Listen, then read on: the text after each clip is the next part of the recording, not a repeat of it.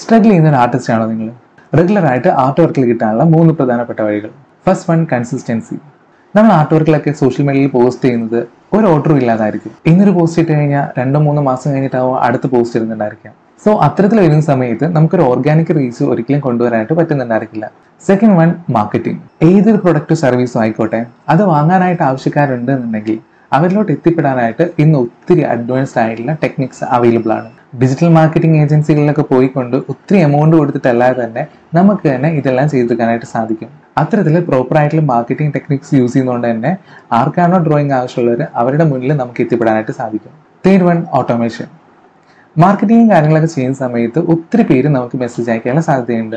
May be ആവശ്യമുള്ളവരുണ്ടായിരിക്കാം ആവശ്യമില്ലാത്തവരുണ്ടായിരിക്കാം. അവരിൽ ആരാണ് നമ്മുടെ ആവശ്യക്കാരെന്ന് മനസ്സിലാക്കിയെടുക്കാനായിട്ട് ഓട്ടോമാറ്റിക് ആയിട്ട് വാട്സപ്പിലൂടെയും ഇൻസ്റ്റഗ്രാമിലൂടെയും മെസ്സഞ്ചറിലൂടെയൊക്കെ അവരോട് സംസാരിക്കുന്ന ഓട്ടോമാറ്റിക് ചാറ്റ് ബോർഡ്സിന് നമ്മൾ സെറ്റ് ചെയ്യേണ്ടതുണ്ട്. അതിലൂടെ തന്നെ നൂറിലധികം പേര് നമുക്ക് ഒരേ സമയം മെസ്സേജ് അയക്കുവാണെങ്കിൽ പോലും അവരോട് സംസാരിച്ച് ഓട്ടോമാറ്റിക് ആയിട്ട് വർക്ക് ഡാറ്റാസ് കൊടുക്കുന്ന രീതിയിൽ നമുക്ക് ഒരു സിസ്റ്റം തന്നെ ക്രിയേറ്റ് ചെയ്യാനായിട്ട് സാധിക്കും. അത് നമ്മുടെ വർക്ക് ഒരു നൂറിരട്ടി കുറയ്ക്കുകയും കിട്ടുന്ന ഇൻകം നല്ല രീതിയിൽ ഇൻക്രീസ് ചെയ്യുകയും ചെയ്യുന്നുണ്ടായിരിക്കും. ഇതെല്ലാം ഡീറ്റെയിൽ ആയിട്ട് പഠിപ്പിക്കുന്ന ആർട്ടിസ്റ്റ് ഇൻകം ഗ്രോത്ത് എന്ന് പറയുന്ന പെയ്ഡ് കമ്മ്യൂണിറ്റിയുടെ ഭാഗമാകാനായിട്ട് എനിക്ക്